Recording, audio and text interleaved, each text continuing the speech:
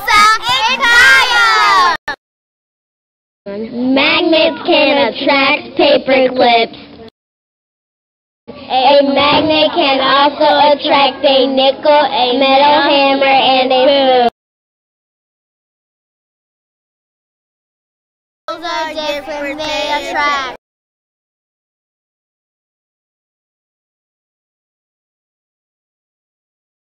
Repel means to push away. When paper clips get close to a magnet, it attracts. Put that animation.